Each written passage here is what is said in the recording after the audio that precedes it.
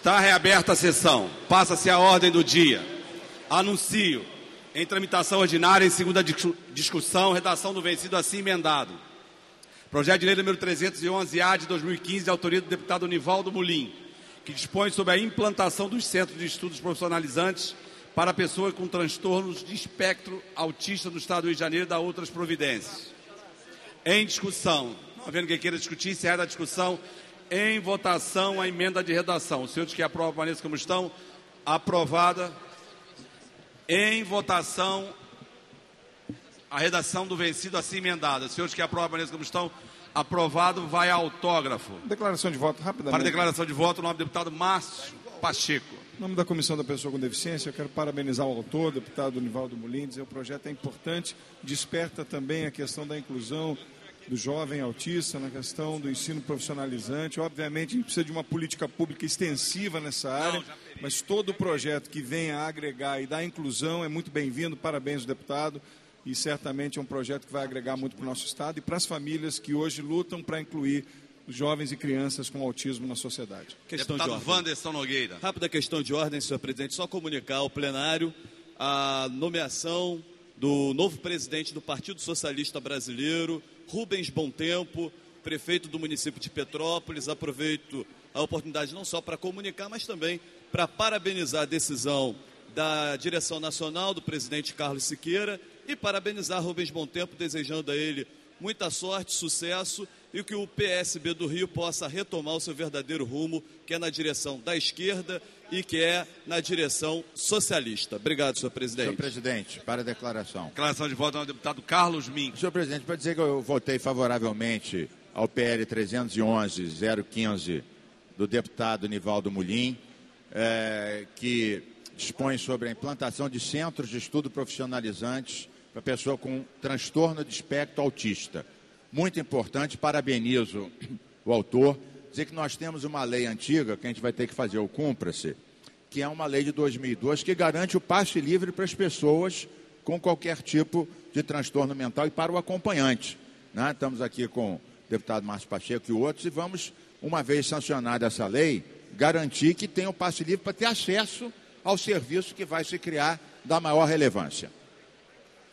Anuncio em segunda, segunda discussão, redação do vencido, projeto de lei número 1069-A de 2011, de autoria do deputado Luiz Martins, que dispõe sobre medidas que coíbam a interrupção de políticas públicas em fase de implantação, sem justificativa legal com vistas à responsabilidade administrativa na administração pública e da outras providências. Em discussão, não havendo quem queira discutir, encerra a discussão. Em votação, senhores que aprovam, permaneçam como estão. Aprovado, vai autógrafo. Anuncio em segunda discussão projeto de lei número 2004-2013, de autoria do deputado Luiz Paulo, que dispõe sobre. Perdão, presidência chama os trabalhos à ordem. Continuamos a redação ven... do vencido. Projeto de lei número 248-A de 2015, de autoria da deputada Marta Rocha, que altera a lei número 3162, de 30 de dezembro de 1998, para dispor sobre o período de armazenamento de imagens nos estabelecimentos bancários. Em discussão. Não havendo quem queira discutir, encerrada a discussão em votação. Os senhores que aprovam nessa comissão, aprovado vai autógrafo. Para a declaração de voto, a autora, a deputada Marta Rocha. Presidente, em primeiro lugar, eu queria cumprimentar os comissários de polícia que se encontram aqui na nossa casa e quero fazê-lo na figura do comissário Franklin e da comissária Sueli Guzzo. E agradecer aos companheiros dessa casa. O nosso projeto é um projeto que visa dar maior qualidade nas investigações, portanto, a trabalhar a questão do armazenamento das imagens relativas aos crimes contra o patrimônio. Muito obrigada. Agora sim, anuncio em segunda discussão projeto de lei número 2004 de 2013, de autoria do deputado Luiz Paulo, que dispõe sobre a alíquota do imposto sobre operações relativas à circulação de mercadorias e sobre prestações de serviço de transporte interestadual e intermunicipal de comunicação, ICMS, incidente sobre operações de circulação de petróleo nas condições que especifica e da outras providências. Em discussão, não havendo que queira discutir, encerrada a discussão. Em votação, senhores que aprovam nessa comissão, aprovado, vai a autógrafo. Declaração, Declaração de, voto do autor, deputado Senhor presidente, só explicando, Primeiro, agradecendo a confiança dos senhores parlamentares e declarando que este projeto de lei, na mão do governador do Estado, passa a ser um instrumento importante de negociação, principalmente se o Supremo vier a derrubar, a liminar, que está até hoje garantindo a participação do Estado e os municípios na produção do ROIT da participação especial. Este é um projeto de lei que leva a taxação do ICMS com alíquota de 18% para origem, como é em todos os produtos. Apesar do dispositivo constitucional abrindo a exceção para o petróleo para ser taxado no destino. Então, é um projeto de lei, no nosso sentido, importante, que foi proposto inicialmente para a governadora Rosinha, mas com uma retração com, viés, com viés de constitucionalidade e sem entrar e sem ter efetividade, não entrou em vigência, o Supremo, o Supremo foi arguído em constitucionalidade, o Supremo sequer julgou. Depois o deputado Noel de Carvalho propôs um igualzinho a esse, mas jamais foi votado, porque se apaziguou os, os ânimos à época. E agora nós votamos em segunda, adaptando dois artigos em primeira na redação, revogando a lei da Rosinha, que está lá no plenário, que está lá no Supremo dormindo, e incluindo o prazo da noventena e da anterioridade no presente projeto. Muito obrigado, senhor presidente. Anuncio projeto de lei número 2968 de 2014, de autoria do deputado André Ceciliano, que obriga as operadoras de telefonia a retornar a ligação caso esta case, caia. Em discussão, não havendo quem queira discutir, encerra a discussão. Em votação, os senhores que aprovam, apareçam como estão. Aprovado, vai autógrafo.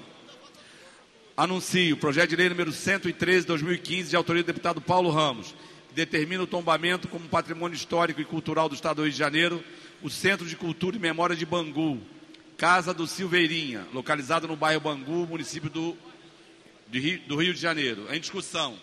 Não havendo quem queira discutir, encerra a discussão. Em votação, os senhores que aprovam, como estão, aprovada, vai autógrafo. Senhor presidente. Para a declaração de voto, o autor, o nome do deputado Paulo Ramos. Somente para mandar um abraço ao companheiro Vladimir Muti. E ao mandar este abraço ao Vladimir, eu quero homenagear um grupo grande de Bangu que pretende preservar esse patrimônio que está muito vinculado à, à história do bairro e poderá amanhã se transformar num grande centro cultural. Portanto, um abraço à galera que, que se reunia e se reuniu comigo várias vezes com o objetivo de preservar esse patrimônio. Muito obrigado. Anuncio o projeto de lei 159-2015, autoria do deputado Zaqueu Teixeira que altera o anexo da Lei 5.645, de 6 de janeiro de 2010, incluindo no calendário oficial do Estado do Rio de Janeiro o Dia do Profissional da Moda, a ser comemorado anualmente no dia 4 de abril. Em discussão, não havendo quem queira discutir, encerrada a discussão. Em votação. Senhores que aprovam, permaneçam como estão. Aprovado. Vai autógrafo. Projeto de lei número 387, 2015, autoria da deputada Ana Paula Rechuan, que declara o distrito de Visconde de Mauá, no município de Resende, como a capital do pinhão. Em discussão, não havendo quem queira discutir, encerrada a discussão, em votação, senhores que aprovam, em senhores que aprovam, nesse como estão, aprovado, vai autógrafo. Só a declaração de Para voto. a declaração de voto, a nova deputada Ana Paula. Queria agradecer aos meus pares aí pela aprovação do projeto. É muito importante a região de Mauá receber esse título para incentivar o turismo e fazer a região continuar crescendo. Anuncio em primeira discussão projeto de lei número 1942 de 2012, de autoria do deputado Samuel Malafaia, que torna obrigatória a destinação de assentos para idosos, gestantes, lactantes, acompanhadas por crianças de colo e pessoas com deficiência ou com mobilidade reduzida, em terminais rodoviários no âmbito do Estado do Rio de Janeiro. Pareceres das Comissões de Constituição e Justiça pela Constitucionalidade, de Transporte favorável, de Economia, Indústria e Comércio favorável. Relatores, deputados Bernardo Rossi, Luiz Martins e Valdec Carneiro. Em discussão, não havendo que querer discutir, encerra a discussão. Em votação. Vai discutir? Não, senhor presidente. é, Pode, pode só- ser declaração de voto. Só para chamar Não é, presidente, é questão de ordem. Não é uma questão de ordem, porque esse projeto não passou pela comissão da criança, do adolescente e do idoso. E trata do idoso, só para uma questão de. A presidência defere o pedido de Vossa Excelência e vamos colher o parecer, Parecer, por da comissão. Para emitir parecer pela comissão, criança, adolescente, idoso, a nova deputada O parecer é favorável acompanhando a CCJ. Tia Ju, não te- deixou eu terminar, tia?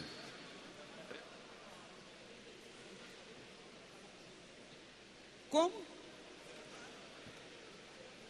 A deputada aqui. Com os pareceres emitidos em discussão. Não havendo quem queira discutir, encerra a discussão em votação.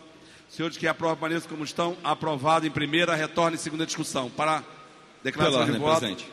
Esse projeto número 1942 de 2012, de autoria do deputado Samuel Malafaia, é idêntico a um projeto meu que já foi aprovado, já foi sancionado, inclusive as rodoviárias do estado do Rio de Janeiro, a rodoviária Novo Rio, a rodoviária de Petrópolis já tem eh, esses assentos reservados.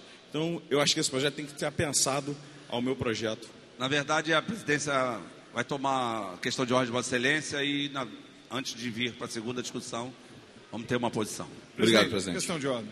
Questão de ordem, novo deputado Márcio Pacheco. Da mesma forma, presidente, quero pedir à mesa diretora, e não é a primeira vez que tem acontecido casos como esse, em que ma- matérias que têm a afeição com comissões importantes e pertinentes, eles não têm passado para dar parecer. Olhando com mais atenção, também não tem parecer da comissão da pessoa com deficiência dessa casa. Quero pedir a Vossa Excelência, então, que colha o parecer, pedir vênia a Vossa Excelência que eu possa emitir o parecer. É favorável, mas quero pedir para A que fique presidência, então, chama os trabalhos à ordem e para emitir o parecer pela comissão Pessoa com Deficiência, novo deputado Márcio Pacheco. Parecer é favorável, presidente. Com os pareceres emitidos em discussão, não havendo que querer discutir, encerra a discussão em votação, seus que aprovam nessa comissão, aprovado em primeira, retorna em segunda com a questão de ordem levantada pelo nobre deputado Marcos Vinícius. Anuncio o projeto de lei número 2828 de 2014, de autoria do deputado Luiz Martins, que, que altera a lei 5.645 de 6 de janeiro de 2010, que consolida a legislação relativa às datas comemorativas para instituir no calendário oficial do Estado do Rio de Janeiro o Dia do Batedor Motociclista. Parecer da Comissão de Constituição e Justiça pela Juridicidade. Relator deputado Domingos Brazão. Em discussão. Não havendo quem queira discutir, encerra a discussão. Em votação, senhores que aprovam, permaneçam como estão. Aprovado em primeira, retorna em segunda. Projeto de lei número 476 de 2015, autoria dos deputados Carlos Mink, doutor Sadi Noel, doutor Julianelli, Flávio Serafini, Jorge Felipe Neto, Marta Rocha e Valdec Carneiro, que autoriza o Poder Executivo a criar o Fundo Estadual de Fomento à Economia Popular Solidária. Pareceres das Comissões de Constituição e Justiça pela condicionalidade.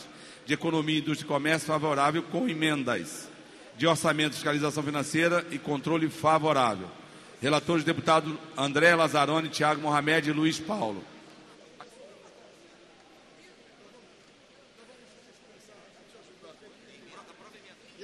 Com, com, com os, os pareceres emitidos em discussão. Não havendo quem queira discutir, encerra a discussão. Em votação, a, em- a, em- as emendas da Comissão de Economia. Senhores que aprovam, permaneçam como estão, aprovado. Em votação, projeto assim emendado. Senhores que aprovam, permaneçam como estão, aprovado em primeiro. Vai a redação do vencido.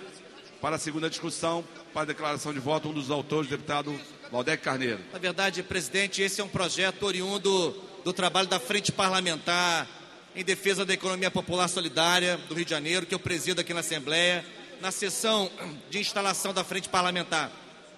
Este ano, este tema foi provocado pelo deputado Carlos Mink e é uma autoria coletiva. A Frente Parlamentar tem atuado em várias, em várias eh, esferas. Essa semana nós celebramos o Dia Nacional da Economia Solidária. Eu quero agradecer à Comissão de orçamento na figura do seu presidente Pedro Fernandes e a CCJ na figura do presidente Edson Albertassi. É um avanço importante para o microcrédito, para os microfinanciamentos aos empreendimentos de economia solidária no nosso Estado. Ao mesmo tempo, eu queria, senhor presidente, queria que consignasse a autoria também, pois integram a frente parlamentar, da deputada Ana Paula Rechuan e do deputado Iranildo Campos, que fique consignada a coautoria de ambos. Obrigado. Está consignado o nome do deputado. Anuncio o projeto de lei número 809-2015, de autoria do deputado Rosenberg Reis, que considera de utilidade pública o Instituto Luz e Vida. Pareceres da Comissão de Constituição e Justiça pela juridicidade. De normas internas e proposições externas favorável. Relatores deputados Chiquinho da Mangueira e Edson Albertas.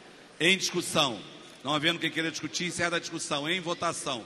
Senhores que aprovam, permaneçam como estão. Aprovado. Em primeira, retorna em segunda. Senhor presidente, pela ordem, rapidinho. É bem rápido mesmo. Pela ordem, do deputado Carlos Eu estava falando com o deputado André Lazzaroni, acabei não declarando o voto favorável ao 476, que é o fundo da, da economia popular solidária. É, nosso projeto, junto com os deputados Valdec, Julianelli, Serafini, Jorge Felipe, Marta Rocha, é, Noel, muito importante, que é o que viabilizar a economia solidária, assim como o FECAM ajudou a viabilizar a área ambiental. Então, muito importante e parabéns a todos os autores e coautores. Anuncio o projeto de lei número 843-2015, autoria do deputado Vaguinho, que denomina a Escola Estadual Professor Laerte Grise, a Escola Estadual Presidente Dutra, situada no município de Seropédica. Pareceres das comissões de Constituição e Justiça pela Juridicidade, de Assuntos Municipais e Desenvolvimento Regional favorável. Relatores, deputado Luiz Paulo e Wanderson Nogueira. Em discussão, não havendo quem queira discutir, encerra a discussão. Em votação, senhores que aprovam como estão, aprovado em primeira, retorna em segunda discussão. Em discussão única, projeto de resolução número 200 de 2015, autoriza os deputados Jorge Pisciani e Wanderson Nogueira que dispõe sobre a criação e funcionamento do Parlamento Juvenil. Parecer da mesa diretora favorável. Relator deputado Geraldo Pudim. Em discussão. Não havendo que queira discutir, encerra a discussão. Em votação, os senhores que aprovam permaneçam como estão. Aprovado, vai a promulgação. Para a declaração de voto, o autor, um dos autores, o deputado Wanderson. Senhor presidente, agradecer a todos os demais parlamentares, agradecer ao presidente Jorge Pisciani, que é coautor é, dessa lei do Parlamento Juvenil. A gente, na verdade, está transformando né, a resolução de 98, mais do que apenas atualizando as nomenclaturas, e essa foi uma lei construída a muitas mãos. Na verdade, essa lei foi feita junto comigo, o deputado Jorge Pisciani, e os 82 parlamentares juvenis desse ano, que são, se autodeclararam deputados constituintes, uma vez que transformaram toda a regra do Parlamento Juvenil. Então, agradeço, é um dos projetos mais importantes da casa, é um projeto onde o jovem é protagonista e tem, tive muito orgulho de coordenar essa edição e agradeço ao senhor presidente também, André Siciliano, que disponibilizou toda a escola do Legislativo por engrandecimento do Parlamento Juvenil 2015. Obrigado. Wanderson, você está de parabéns, porque você fez um trabalho muito bacana esse ano, frente do Parlamento Juvenil. Parabéns, meu irmão. Anuncio o projeto de resolução número 203 de 2015, de autoria do deputado Rafael do Gordo. Concede medalha Tiradentes ao secretário de Habitação do município de Arraial do Cabo, Rômulo Leonardo Plácido da Costa. Parecida da Comissão de Normas Internas e Proposições Externas, favorável. Relator, deputado Dica. Em discussão, não havendo quem queira discutir, encerra a discussão. Em votação. Senhores que aprovam, permaneçam como estão. Aprovado, vai a promulgação. Voto divergente. Abstenção, Flávio Serafini. Também. Também a abstenção, de Wanderson, deputado Carlos Mink. Anuncio indicação legislativa número 100 de 2015, de autoria da deputada Lucinha, que solicita ao excelentíssimo governador do estado do Rio de Janeiro o envio de mensagem dispondo sobre a regularização fundiária dos imóveis do Rola 2, acesso pela rua Irerê, no bairro de Santa Cruz, município do Rio de Janeiro. Parecer da Comissão de Indicações Legislativa favorável. Relator deputado Pedro Fernandes. Em discussão, não havendo quem queira discutir, encerra a discussão em votação. Senhores que aprovam, permaneçam como estão. Aprovado, vai a publicação. Anuncio, anuncio requerimento número 138 requerimento 138-2015, autoria da deputada enfermeira Rejane, que requer a sessão do plenário Barbosa Lima Sobrinho para a realização de sessão solene para entrega do diploma Mulher Cidadã Leonida Drautro e de homenagem aos 8 de ma ao dia 8 de março Dia Internacional da Mulher. Parecer da mesa diretora, favorável, relator deputado Pedro Augusto. Pela ordem. Em discussão. Não havendo quem queira discutir, encerra a discussão em votação. Senhores que aprovam, permaneçam como estão. Aprovado. Pela ordem do deputado Marcelo Freixo. Presidente, só queria que registrasse meu voto de abstenção do projeto de resolução 203-2015, por favor. Presidência solicita a assessoria da mesa. Projeto 203 de 2015, abstenção do deputado Marcelo Freixo. Incluídos na ordem do dia, de acordo com o parágrafo 1 do artigo 47 do Regimento Interno, em tramitação ordinária, em votação, em primeira discussão, projeto de lei número 126 de 2015, de autoria dos deputados Domingo Brazão e Lucinha, que estabelece normas para isenção de pagamento de pedágio no âmbito do Estado do Rio de Janeiro e da outra provi outras providências. Pareceres da Comissão de Constituição e Justiça pela constitucionalidade. De transporte favorável. De assuntos municipais de desenvolvimento regional favorável de Trabalho, Legislação Social e Seguridade Social, favorável. De Economia, Indústria e Comércio, favorável. De Orçamento, Fiscalização Financeira e Controle, favorável. Um instante. De Orçamento, Fiscalização Financeira e Controle, contrário com emendas. Relatores, deputados André Lazarone, Dionísio Lins, Edson Albertas, Paulo Ramos, Valdeir Carneiro e Luiz Paulo. Pendendo de parecer dependendo de pareceres das comissões de Constituição e Justiça, de Transporte, de Trabalho e Legislação Social, de Seguridade Social, de Economia, Indústria e Comércio, de Orçamento, Fiscalização Financeira e Controle, às emendas de plenário. A presidência convida o nobre deputado Edson Albertassi para emitir parecer pela Comissão de Constituição e Justiça às emendas de plenário. Não estando presente, deputado Chiquinho da Mangueira. Senhor presidente, parecer pela constitucionalidade. É das emendas de plenário. Contrário ou favorável, deputado? Favorável. Favorável às emendas.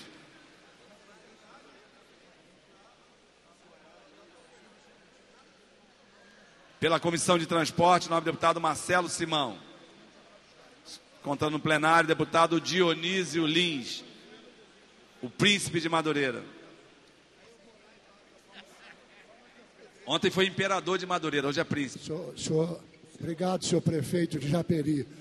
Deputado André Siliana Honra. Favorável, senhor presidente. Pela Comissão de Trabalho, Legislação Social e Seguridade Social, deputado Paulo Ramos. Estamos votando um projeto de lei 126 de 2015. Parecer as emendas de plenário.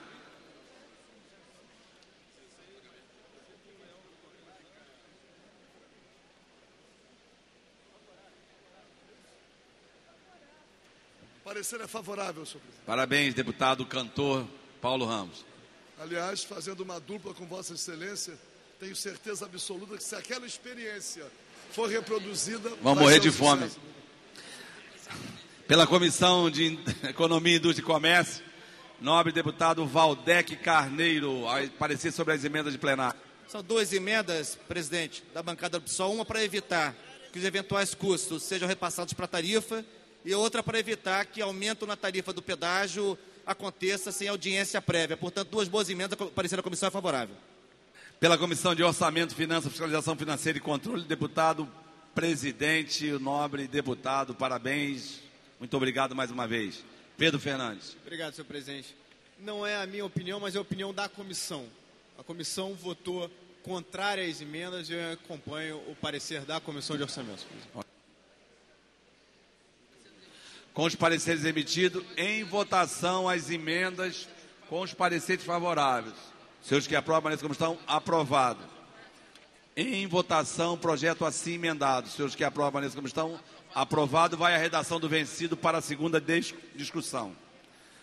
Em votação, em primeira discussão, projeto de lei número 443 de 2015, da autoria da deputada Tânia Rodrigues, que institui a campanha permanente de incentivo à redução do consumo de água Pareceres das comissões de Constituição e Justiça pela constitucionalidade, de saneamento ambiental favorável, de educação favorável, assuntos municipais e desenvolvimento regional favorável, de orçamento, finanças, fiscalização financeira favorável.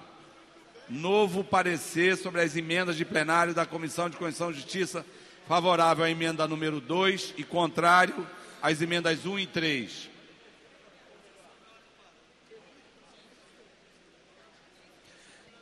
Relatores, deputados Aqueu Teixeira, Nivaldo Mulim, Conte Bittencourt, Márcia Giovanni, Pedro Fernandes e Edson Albertas.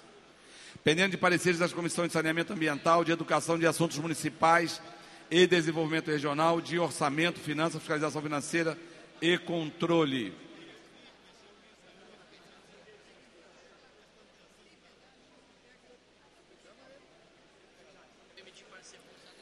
Pela Comissão de Saneamento Ambiental, parecer das emendas, nome deputado Nivaldo Mulim. Não se encontrando presente, deputada Lucinha. Essa é a rainha da Zona Oeste. E é de assistência. Favorável. Pela Comissão de Educação, senhor presidente, nome deputado Conte Bittencourt. Estamos votando, deputado Conte.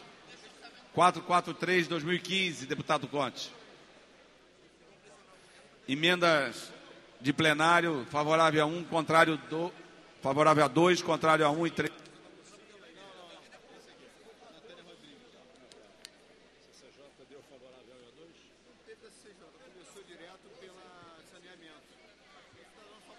Senhor presidente, estamos aí acompanhando é, o parecer das emendas de plenário. Parece aprovando, aprovando a 1, favorável a 2 e contrário a 1 e 3. Pela Comissão de Assuntos Municipais e Desenvolvimento Regional, a nobre deputada Márcia Giovanni. É favorável à emenda de número 2, contrária às emendas 1 e 3. Pela Comissão de Orçamento, Finanças, Fiscalização Financeira e Controle, o nobre deputado, nosso anfitrião Pedro Fernandes. Acompanhando todos os outros pareceres, senhor presidente. Favorável a 2, contrário a 1 e 3. Em votação, a emenda número 2 com, parecer com os pareceres favoráveis. Senhores que aprovam nessa comissão, aprovado. Em votação, a emenda 1 e 3 com os pareceres contrários. Vocês que aprovam nessa comissão, rejeitada. Em votação, o projeto assim emendado. Senhores que aprovam nessa comissão, aprovado. Vai à redação do vencido e retorna em segunda discussão. Anuncio Incluído na ordem do dia, de acordo com o parágrafo 1 do artigo 47 do Regimento Interno, em tramitação ordinária e primeira discussão, projeto de lei número 3295 de 2014, de autoria do deputado André Lazzaroni, que altera a denominação de- da categoria funcional mais elevada dos agentes de polícia estadual de investigação e prevenção criminais do quadro permanente da Polícia Civil do Estado do Rio de Janeiro e da outras providências. Pendendo de pareceres das comissões de Constituição e Justiça, de Segurança Pública, Assuntos de Polícia, Servidores Públicos, de Orçamento, Finanças, Fiscalização Financeira e Controle. Para emitir parecer pela Comissão de Constituição e Justiça, o nobre deputado Edson Albertas. Pode aparecer.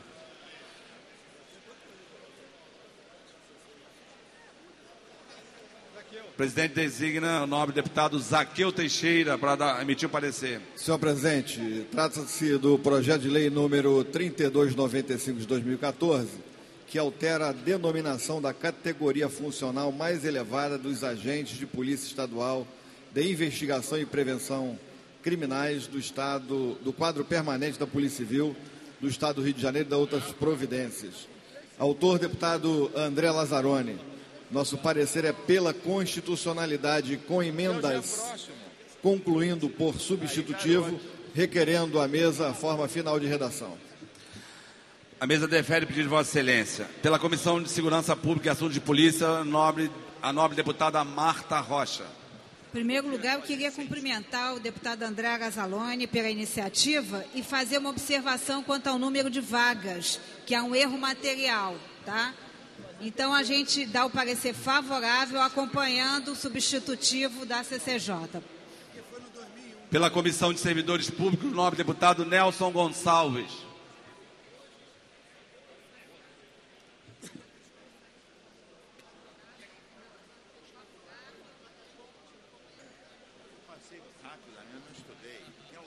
Senhor presidente, favorável com o substitutivo da CCJ. Pela Comissão de Orçamento, Finança, Fiscalização Financeira e Controle, o nobre deputado, anfitrião nosso de ontem, Pedro Fernandes. Favorável, senhor presidente. Com os pareceres emitidos, em votação, o substitutivo. Senhores que aprovam nessa comissão, Aprovado como forma final e volta em segunda discussão. Pela ordem, senhor presidente. Nobre deputado, presidente Pisciani. Presidente, boa tarde, boa tarde a todos. Olha, eu, por dever e por responsabilidade, estou vendo que eu me meti numa grande atrapalhada.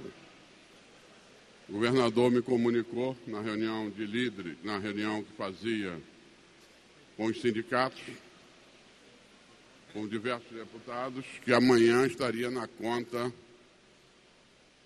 o 13 terceiro. Eu imediatamente comuniquei. O governo está batendo cabeça. Falei agora duramente com o chefe da Casa Civil, carinhosamente com o governador e respeitosamente com o secretário de Fazenda.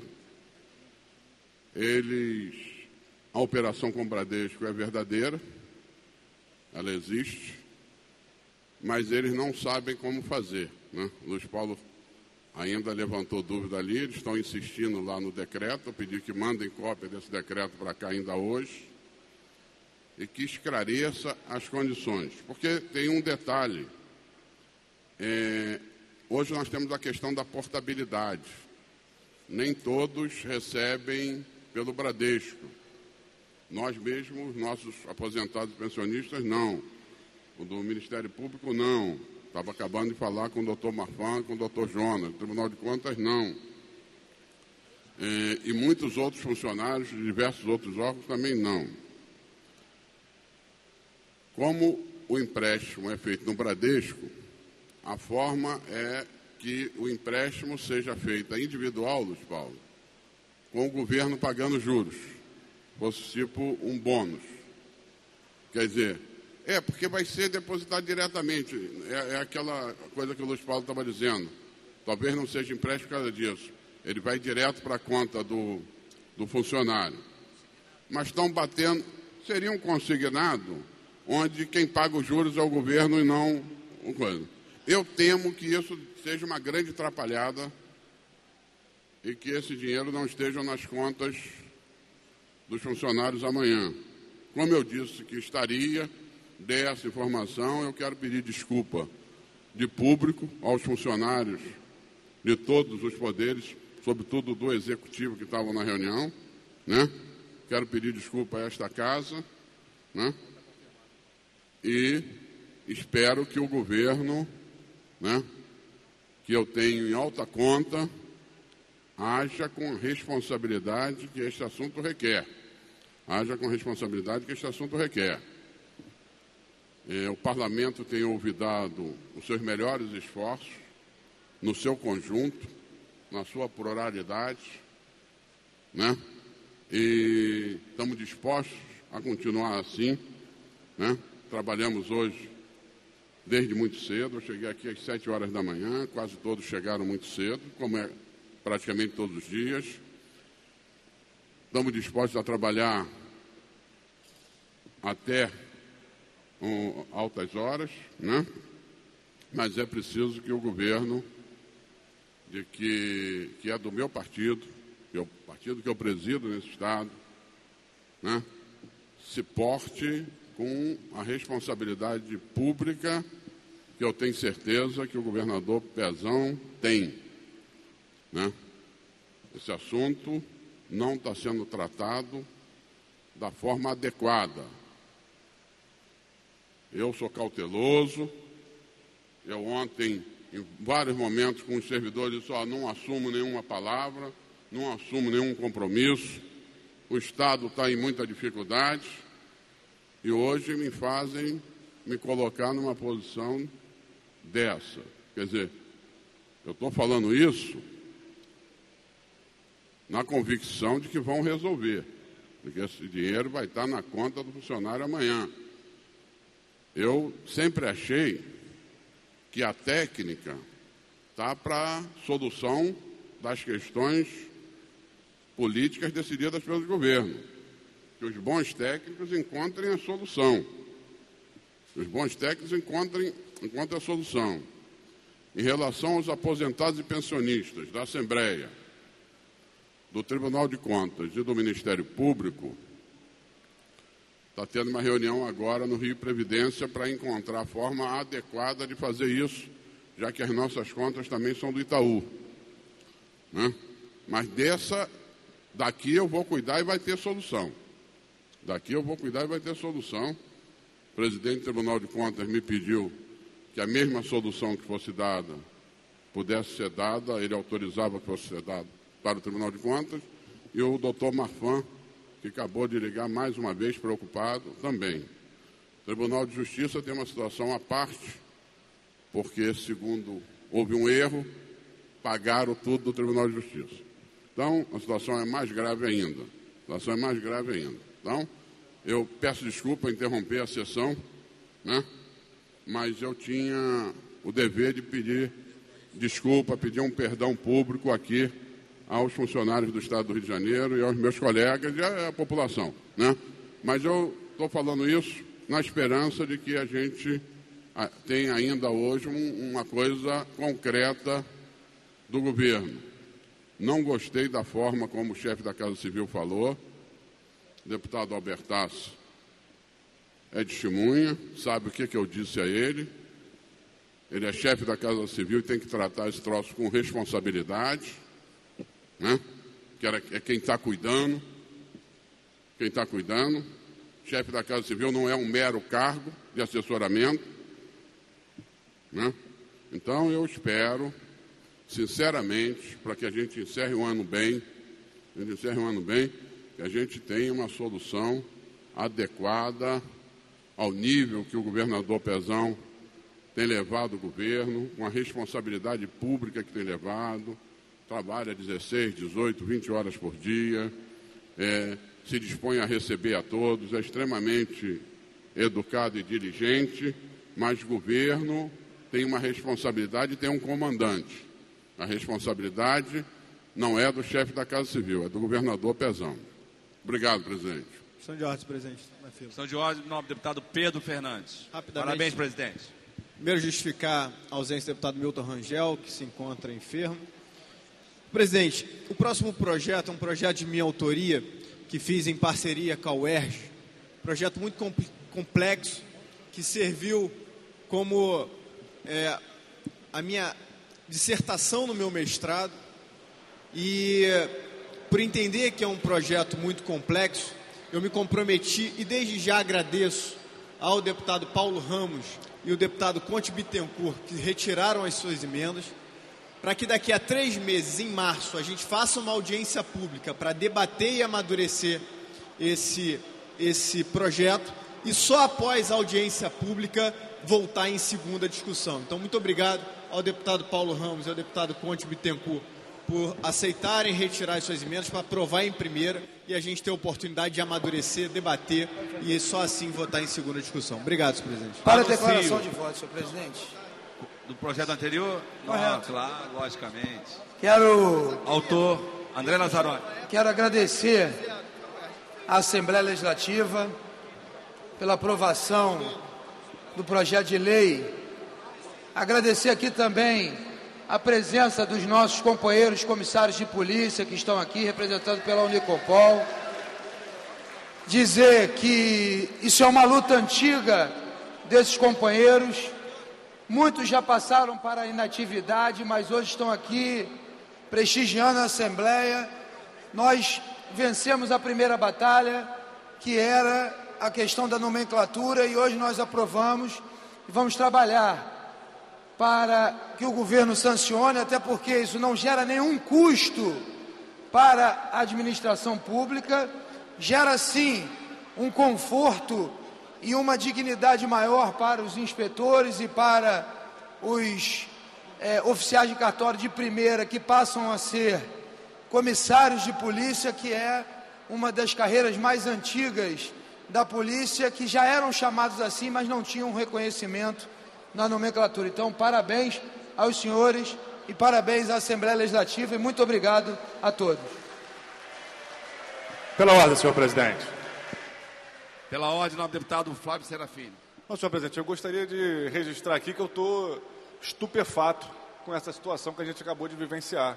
A gente tem acompanhado os esforços aqui dessa casa de tentar abrir uma mediação entre as diferentes categorias de servidores e do governo, e quando o governo manda uma mensagem né, de que a situação dos, do, dos servidores está resolvida e que a cota do, do, do 13º salário vai ser depositada amanhã e, de repente, isso é desmentido, é uma situação de não só de desmoralização do próprio governo, que perde credibilidade no diálogo com os servidores, mas especialmente uma situação de jogar gasolina na fogueira.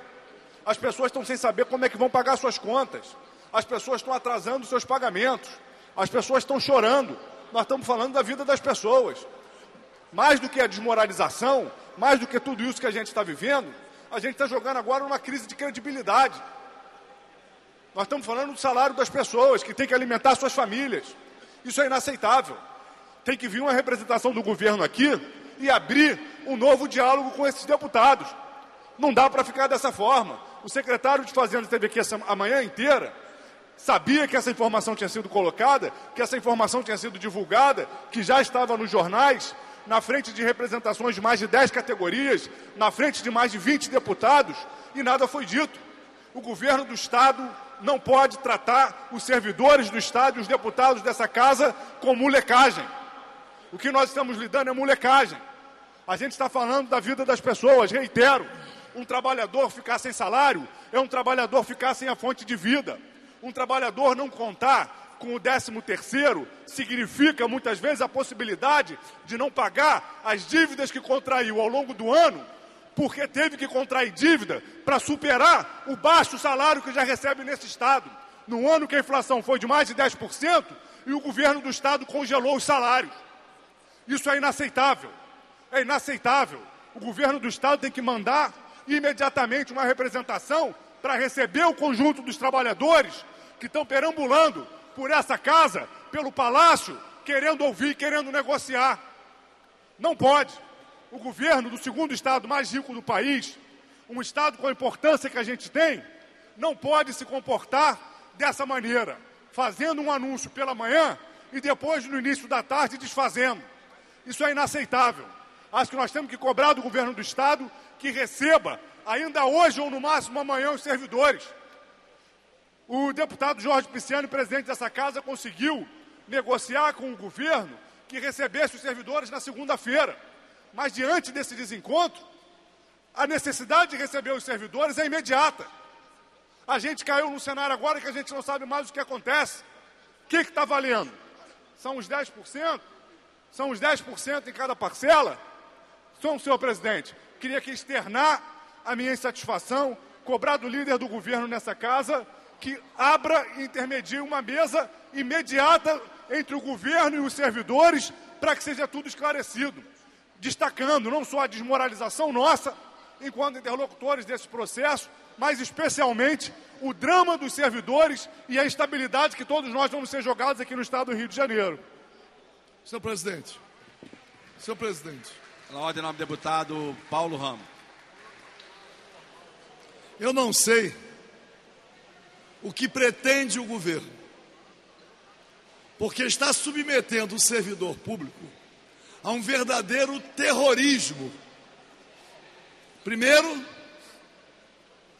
a não concessão de reajuste, o que é inconstitucional, porque as perdas exigem a correção, há a redutibilidade, o que a Constituição proíbe. Não corrigir perdas significa diminuir salário.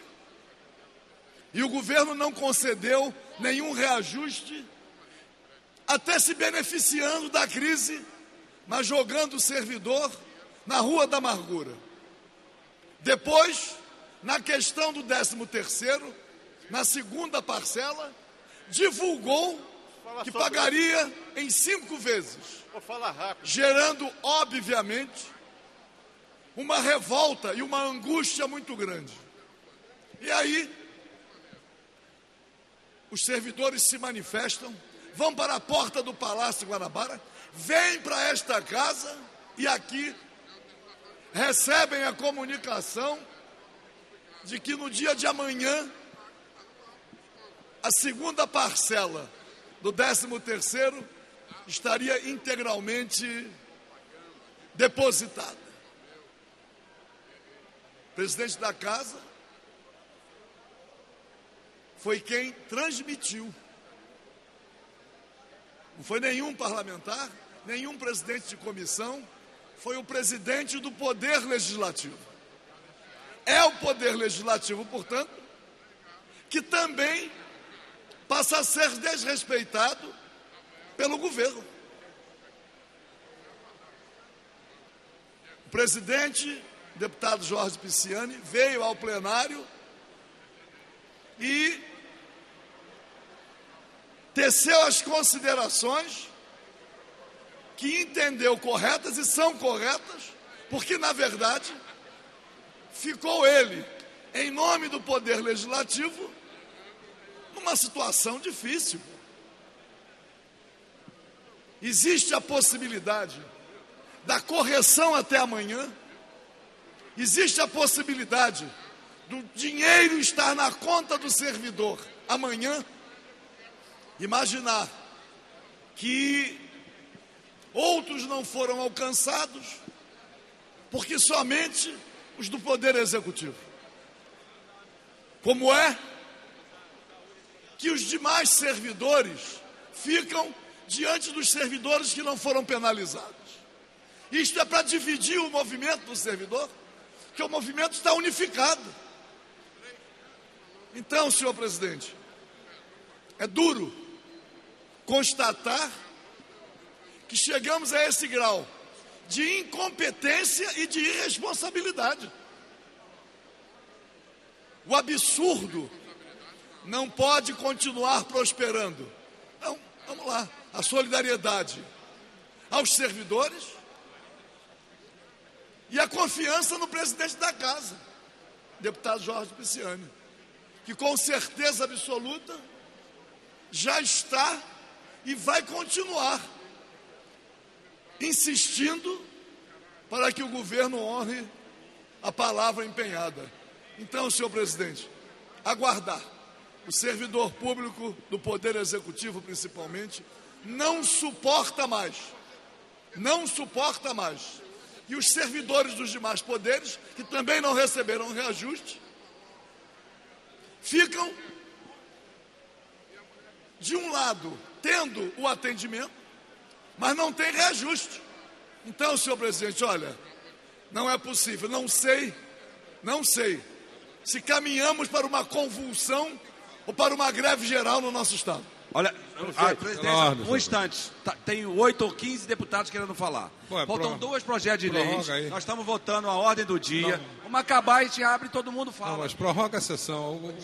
Não, falta, todo mundo, todos vão falar. Inclusive nós temos este. Então, por favor, doutor Julianelli, o senhor será o primeiro após a pauta. E depois Anuncio. Senhor, depois me, me inscreve aí, presidente, por favor. Depois Samuel, senhor presidente. Jorge Felipe Neto. Anuncio. Projeto de lei número 294-2015, de autoria do deputado Pedro Fernandes, que consolida as leis referentes, referentes à indústria e ao comércio no âmbito do Estado do Rio de Janeiro. Pareceres da Comissão de Constituição e Justiça pela constitucionalidade, com, emenda da, com emendas da Economia, Indústria e Comércio favorável. Relatores deputado Luiz Paulo e Edson Albertas. Pendendo de pareceres das Comissões de Defesa do Meio Ambiente, de Saneamento Ambiental, de Saúde, segurança alimentar, combate às discriminações preconceitos de raça, cor, etnia, religião e procedência, de prevenção uso de drogas, dependentes químicos em geral, de segurança pública, assunto de polícia, de defesa civil, servidores públicos, de trabalho, legislação social e seguridade social, de defesa do consumidor, de assunto da criança, do adolescente, do idoso, defesa dos direitos da mulher, da pessoa com deficiência, da educação, de esporte, lazer, de cultura, de minas e energia. Para emitir parecer pela comissão de Meio Ambiente, o novo deputado Tiago Pampolha. Questão de ordem, senhor presidente. Questão de ordem, o novo deputado Luiz Paulo. Deputado Pedro Fernandes, cadê? Ele já, deputado Luiz. Deputado Pedro Fernandes, por favor. Ele já usou a palavra, ele fez um acordo de fazer uma audiência pública antes da segunda votação. Não, a questão não é essa. Ok. Questão de ordem é o seguinte: projeto de lei tem 397 artigos. Como disse aqui o presidente, a gente chegou aqui quando o sol nasceu. Não tem como a gente emendar um projeto de 397 artigos se a gente não consegue nem lê-lo com atenção. Se ele está em primeira, quando for fazer audiência pública em segunda, não, ad- não vai admitir mais emenda. Então, senhor presidente, o que eu quero de Vossa Excelência é que o projeto fique claro que quando o projeto voltar em segunda, ele vai receber emendas depois dessa audiência pública. Essa que é a garantia. Está definido e é Pela assim ordem. que é. Questão de ordem, o deputado Marcelo fez. É sobre o projeto, deputado? Evidente. É, por mais que nada, na minha opinião, presidente, nada é mais importante do que o debate trazido aqui pelo presidente da casa. Né? Nada é mais não tem pauta seja mais importante. Eu discordo do encaminhamento de Vossa Excelência, mas ok. A, sessão tinha que ser paralisada, como foi para o presidente da casa, para que todos os deputados se pronunciassem sobre isso. Enfim, né? Mas vou respeitar. Estou inscrito depois do doutor Julianeri. Agora, eu quero dizer o seguinte: esse projeto, eu, eu, eu discordo aqui do encaminhamento. Esse projeto, deputado Pedro Fernandes, não sei se o deputado Pedro Fernandes está na casa aqui. Agora, ele não tem condição de ser votado. Não tem condição de ser votado. Tem um conjunto, olha, eu tenho aqui, tem um conjunto, essa, são, uma, são diversos projetos aco- acoplados em um só, feitos por um deputado. Isso tinha que ser fruto de uma comissão, com um conjunto enorme de debates, antes do projeto ser votado. Não dá para votar em primeiro para depois voltar. Depois, não tem, não tem condição. Olha, um dos projetos tem, tem mensagem do executivo sendo acoplada. Não pode. Está cheio pre- de vício. Só, só, olha só. Tem artigos que remetem ao artigo anterior e o artigo anterior não é aquele que ele está falando, porque está cheio de Ctrl-V, Ctrl-C. É um corte-cola danado. A presidência já chamou o deputado Pedro Fernandes.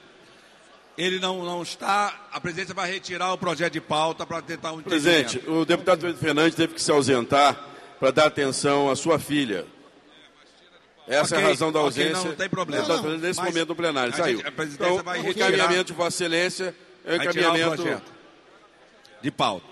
Anuncie o projeto de lei número 594-2015, de autoria da deputada Marta Rocha, que institui o sistema de identificação balística para a elucidação de crimes no Estado do Rio de Janeiro. Parecer da Comissão de Constituição e Justiça pela condicionalidade. Relator deputado André Lazzaroni. Pendendo de pareceres das comissões de Segurança Pública e Assuntos de Polícia, de Orçamento, Finanças, Fiscalização Financeira e Controle. Para emitir parecer pela Comissão de Segurança Pública, o nobre deputado Bruno Dauares, já que a presidenta está impedida. Senhor presidente, desde já elogiar a iniciativa da deputada Marta Rocha e dizer que o parecer é favorável. Pela Comissão de Orçamento, Finanças, Fiscalização Financeira e Controle, o nobre deputado Edson Albertassi. Não se encontrando presente, o nobre deputado André Lazzaroni.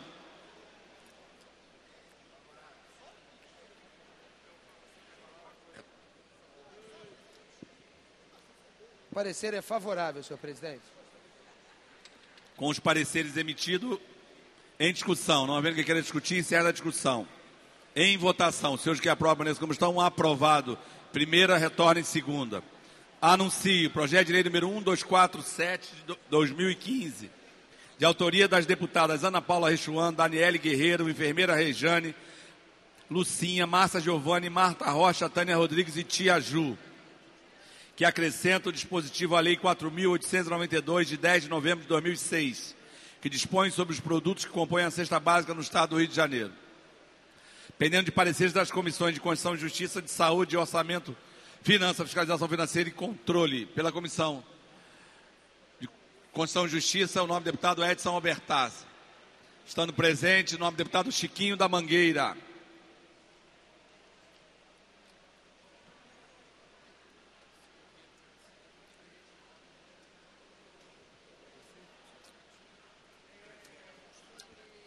Parecer pela constitucionalidade, senhor presidente. Pela Comissão de Saúde, nome do deputado Jair Bittencourt.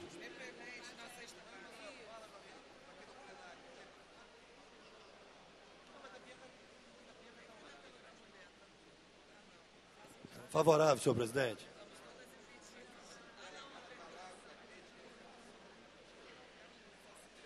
Pela Comissão de Orçamento, Finanças, Fiscalização Financeira e Controle, nobre deputado André Lazzarone.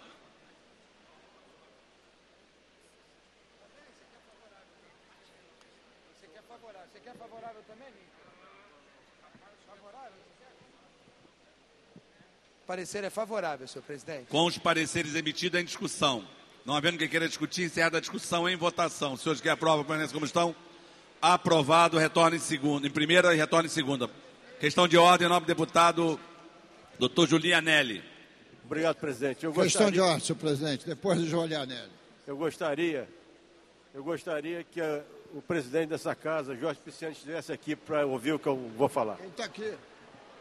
Eu entendo, senhor presidente, que essa, essa ida e vinda em relação ao salário, ao 13 terceiro dos funcionários, ela coloca em ridículo a posição do presidente dessa casa. E aí, eu quero demonstrar claramente a minha solidariedade com o presidente Jorge Pisciani. Mas eu quero dizer que o fato é muito mais grave do que esse fato que eu coloco nesse momento. Nós estamos nós estamos tratando do salário do povo fluminense, do funcionário público desse estado.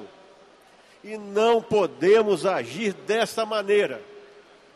As pessoas fazem seus, suas programações, têm suas dívidas e além de tudo, e além de tudo, fica muito mais evidente a necessidade do salário em dia no momento em que se instalou o caos na saúde pública desse Estado, em que as pessoas estão tendo que procurar recursos privados para tratar daquilo que é obrigação do Estado.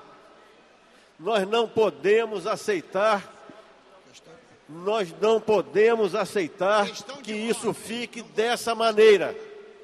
O Estado do Rio, o governo do Estado do Rio, precisa abrir um canal de negociação com o servidor público do Estado do Rio. Não podemos, essa casa não pode aceitar dessa maneira a condução desse problema.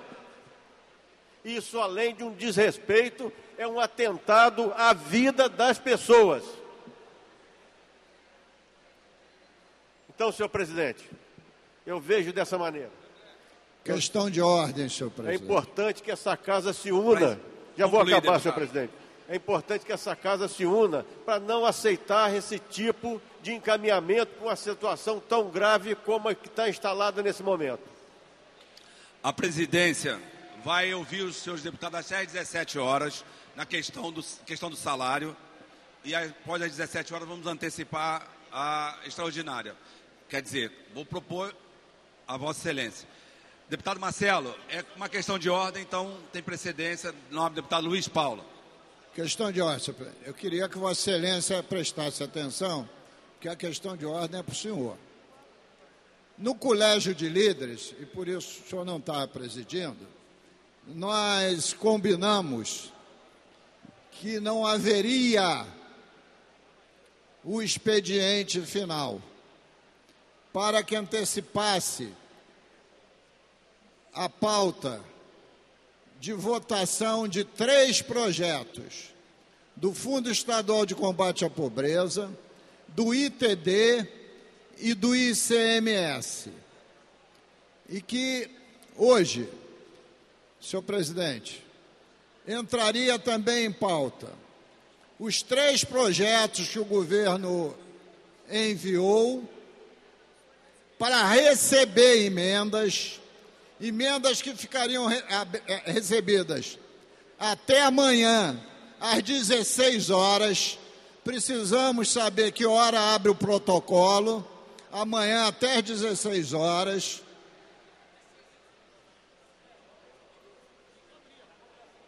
Tem que abrir, já está decidido. É só saber a hora que vai abrir o protocolo. Vai ficar aberto até às 16 horas. E esses três projetos novos, que serão, que virão à pauta hoje para receber pareceres, virão à pauta de segunda-feira. E na segunda-feira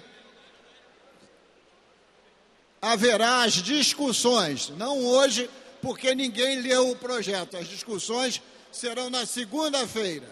E na própria segunda-feira também terá que ter uma reunião de colégio de líderes para discutir as emendas que são feitas até às 16 horas de amanhã. Então, a questão de ordem, senhor presidente, a questão de ordem era questão de ordem, porque o senhor não está dando questão de ordem. O senhor está dando pela ordem que é outra coisa, porque o tema que a gente está tratando é outro. E na, no pela ordem eu quero me inscrever, porque o senhor era um dos primeiros inscritos, eu tenho direito também pela ordem de falar sobre a questão do 13 terceiro. Mas pela A ordem, não presidência questão... anuncia que a partir das 10 da manhã até as 16 horas receberemos as emendas e é o que, a- que nós combinamos, o que o deputado Luiz Paulo acabou de falar, que foi combinado na reunião de líderes. Pela ordem. Pela ordem, nobre deputado Marcelo Freixo, em seguida Samuel Malafaia, depois deputado Luiz Paulo, depois deputado Jorge Felipe Neto, depois deputado Valdec, depois a deputada enfermeira Rejane, Jânio Mendes. É, vai até às 17 horas. A gente pede que os- sejamos breves. Pela ordem. presidente. Pela ordem, nobre deputado Marcelo Freixo. Quero ser breve para dar tempo dos outros deputados poderem falar. Tem nome. Nós estamos aqui falando do senhor Leonardo Espíndola. É disso que a gente está falando. Não é? Porque a gente começa a falar do cargo, tem nome. A gente está falando do chefe da Casa Civil, senhor Leonardo Espíndola. Essa casa cumpriu o seu papel, do papel dentro do campo de forças políticas de- da, da diferença. Fizemos um colégio de líderes, nos reunimos com diversas categorias de servidores públicos. Foi anunciado, a pedido do governo, que o 13 terceiro seria pago e todos os líderes concordaram no esforço de votar esse empréstimo, esse empréstimo ainda hoje. Com todas as críticas que temos ao processo de endividamento do Estado em relação aos bancos. Mas por entendermos a emergência e a urgência desse pagamento, que o salário do servidor não poderia jamais atrasar, teve acordo com todas as diferenças que temos no Colégio de Líderes. É inaceitável a irresponsabilidade associada à incompetência desse governo. Não só em tudo que gerou essa crise, mas na condução da própria crise. E é desrespeitoso sempre com o funcionalismo público. Nunca é desrespeitoso com seus sócios. Nunca é desrespeitoso com quem tem o capital e financia um monte de campanha. Para esses não aceita reduzir isenção. Mas na hora de tratar do salário do servidor, não tem sequer respeito. É disso que se trata. Então, se não conseguir resolver hoje, no mínimo a demissão desse senhor é uma necessidade. No mínimo, no mínimo, a demissão desse senhor é uma necessidade se isso não for resolvido hoje. Porque foi anunciado para todos os seus servidores saíram daqui de uma reunião do colégio de líderes com a garantia de que receberiam o 13 terceiro. Isso não é favor, presidente. Isso não é favor. A gente está falando de como as pessoas vão pagar as suas contas. A gente está falando de dignidade. De quem é mais importante no Estado, que é o servidor público. Porque nós vamos passar, eles não. Então isso é inaceitável. Se isso não for resolvido hoje, o mínimo que esse governo tem que fazer é demitir o senhor Leonardo Espíndola.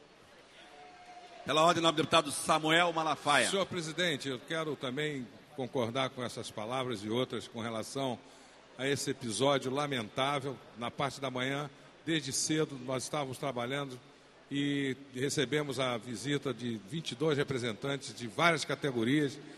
Na frente deles, o, o- o presidente recebeu ligação do Palácio. Eu estava bem próximo, é verdade. A ligação falava que seria pago o 13 terceiro depositado amanhã. E quando isso não acontece, desmoraliza os nossos colegas que, satisfeitos com aquela que seria uma medida apropriada e correta, anunciaram para os seus segmentos de apoio político que estavam resolvendo a situação. E quando isso não acontece, é uma grande vergonha. Então, há de se tomar uma providência muito séria com relação ao governo para não desmoralizar essa casa e principalmente o seu presidente que tem agido com bastante critério e bastante confiança. O Pisciani é conhecido como um homem que tem palavra. Isso tem que ser corrigido da, da mais, da mais rápida forma e competência para evitar esse desconforto que nós estamos sofrendo. Pela ordem, deputado Luiz Paulo. Senhor presidente, eu venho aqui sucessivamente dizendo que este governo é um governo compartimentizado. São três, quatro compartimentos. E eles não falam entre si. Casa Civil é o compartimento nobre. Esse não conversa com ninguém. Lá só tem obsessor que veta os projetos. Tem a Fazenda, tem o planejamento e a Procuradoria. E essa forma de governar em compartimentos não dá certa. Tanto não dá certo que o presidente da casa anuncia o pagamento do 13 terceiro, porque isso foi anunciado, foi dito a ele por um compartimento, mas o outro compartimento que estava fazendo a tratativa com o Bradesco estava pensando de forma diferente, sem considerar as questões da portabilidade. Então, senhor presidente, sobre esse tema, não pode haver erro. Você só pode fazer um anúncio daquilo que você tem segurança, porque você desmobiliza os movimentos, ao mesmo tempo, novamente cria esperança, depois a esperança desaba, e essa não é o tom nem do presidente da casa, nem da própria casa como um todo. Eu acho que se isso não tiver solução hoje, esses senhores que vivem nos seus compartimentos têm que ser declarados pela essa casa como personas não gratas. Tem dispositivo constitucional que não diz isso, mas chama-se voto de desconfiança. Dispositivo regimental. Seu secretário aí, popular Marquinhos, conhece. Porque não podemos é, é, é, ficar nas mãos de possibilidades irresponsáveis. E é realmente um achincalhe contra o servidor público e querer desmoralizar o presidente da casa que nos representa. Parabéns, deputado. Próximo orador, Jorge Felipe Neto. O presidente só pede atenção. Que... Senhor presidente, somente para expressar a conformidade de toda a bancada em se solidarizar com o presidente Jorge Pisciani, no sentido de que essa casa tem sido fiadora nesse ano, junto, através do deputado Pisciani, através do líder do governo Albertas, de diversos acordos com diversas categorias. Essa casa hoje tem esse episódio lamentável de que o presidente, o nosso presidente, que nos representa institucionalmente, pede desculpas à população do Rio de Janeiro. Isso é um motivo de repúdio para todos nós com relação ao secretário da Casa Civil, mas também é um motivo de engrandecimento. Mais uma vez, o presidente demonstra a sua hombridade em avançar face aos desafios e que representa muito bem essa casa institucionalmente, tendo ali colocado todo o seu sentimento, que a bancada do PSD, mais uma vez repito, se solidariza em repúdio a essa falsa notícia, dada no assodamento, dada com receio de que o funcionalismo possa reagir. E que, sinceramente, acredito que reagirá a essa notícia, como essa casa hoje está reagindo. Muito obrigado, senhor presidente. Próximo orador, deputado Valdec Carneiro. Senhor presidente, eu me sinto muito contemplado pelas intervenções anteriores, serei muito breve.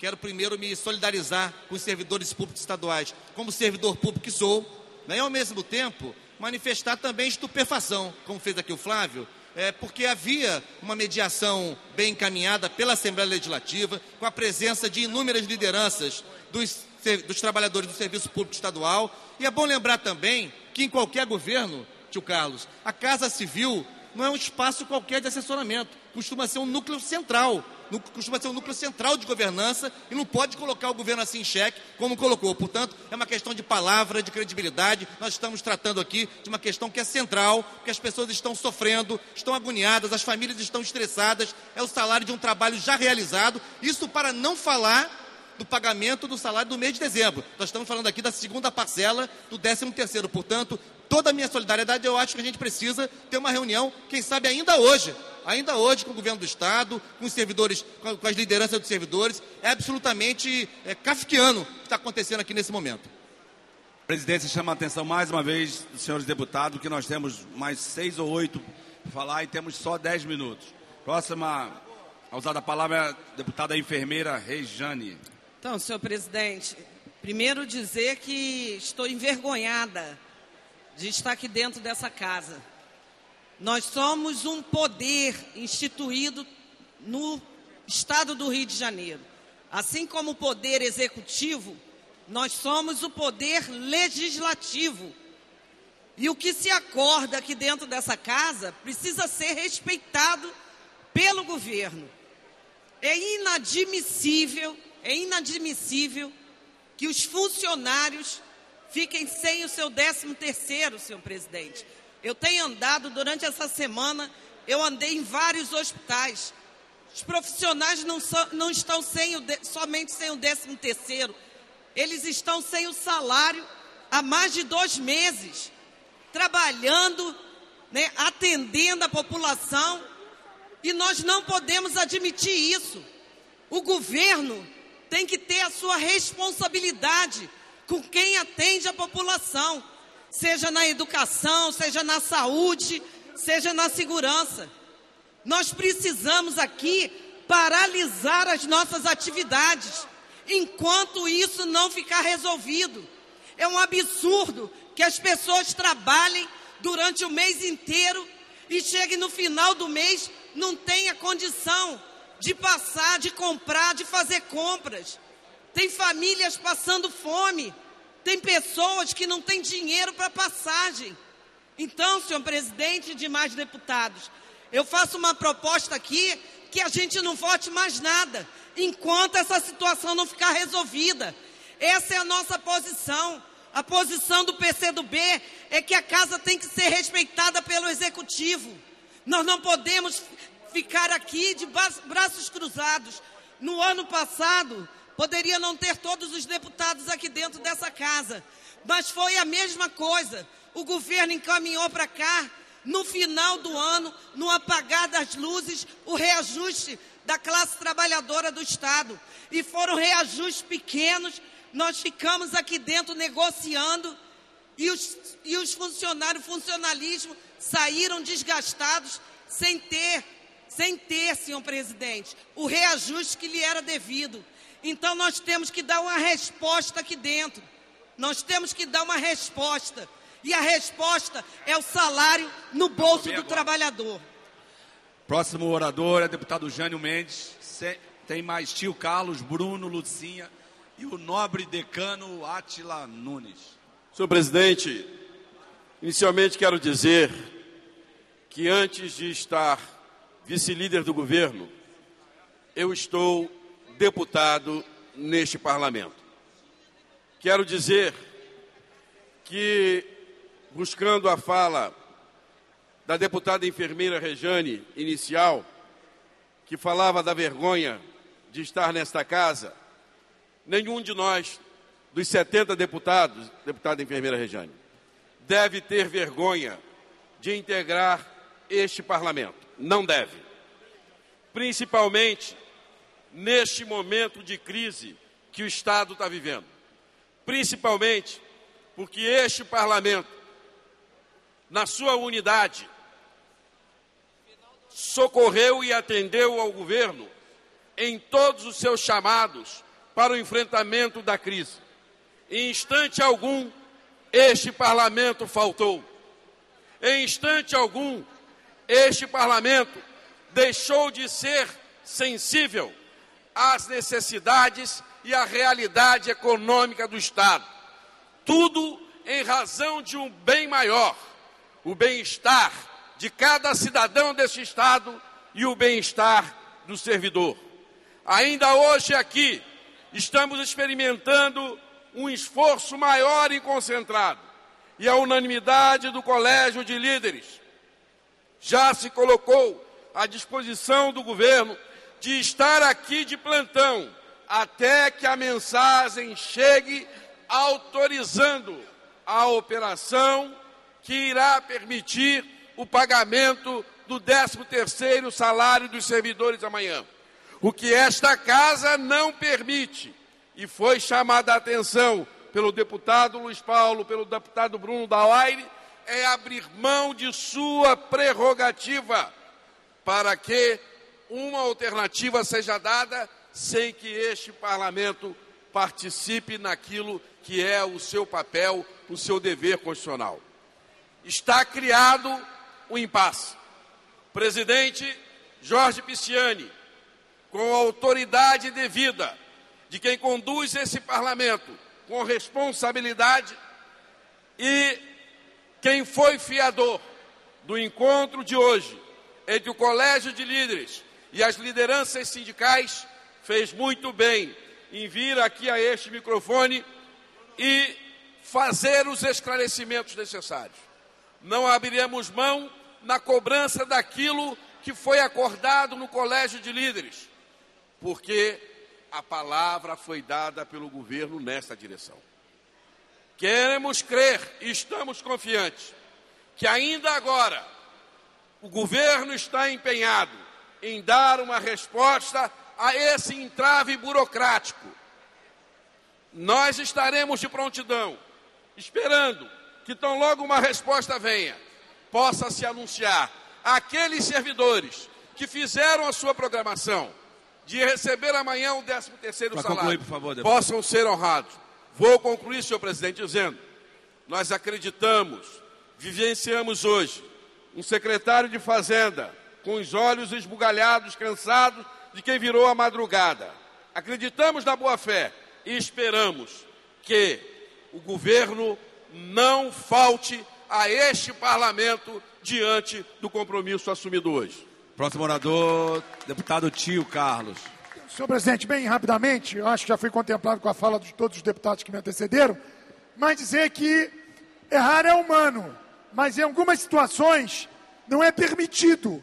Esse erro, que na verdade não pode ser colocado como erro, é uma grande atrapalhada e nós não podemos permitir absolutamente que, principalmente, o nosso presidente e todos os deputados que acompanharam o compromisso, porque afinal de contas o governador já tinha se comprometido de pagar o 13 terceiro em cinco parcelas, enfim, a notícia de hoje e todos os representantes dos sindicatos que estiveram aqui receberam a grata notícia que o pagamento seria feito amanhã dentro da sua integralidade. Então, nós estamos aqui confiantes que essa atrapalhada até o final do dia vai ser resolvida. Afinal de contas, não é permitido errar nesse momento. Nós não podemos cair em descrédito. A classe política já sofre com descrédito em todas as áreas. Nós não podemos deixar que essa casa seja desrespeitada da forma que foi. Então, mais uma vez, quero estar solidário a todos os companheiros deputados, principalmente ao presidente Pisciani, que inclusive tem parabéns a ele. Mas nós não podemos aqui retroceder um minuto que seja. Então, estaremos aqui pronto para uma solução e vamos aguardar a posição do governador. Deputado Bruno Dauari. Senhor presidente, serei bem breve, até porque depois do discurso do deputado Jânio Mendes, um dos líderes do governo, a gente acaba perdendo até o fôlego para falar. Mas eu acho que a gente tem que, de fato, eu venho aqui hoje, é, expressar, depois desse lamentável fato, a indignação da bancada do Partido da República. Até hoje, senhor presidente, a nossa bancada flexibilizou muitas vezes posições políticas para poder ajudar o governo a sair da crise. Até hoje, senhor presidente, e aí eu incluo todos os parlamentares dessa casa, nos expomos muitas vezes nas nossas bases eleitorais, tendo que votar medidas aqui, muitas vezes chegar na toque de caixa, muitas vezes sem discutir de forma profunda as mensagens do governo.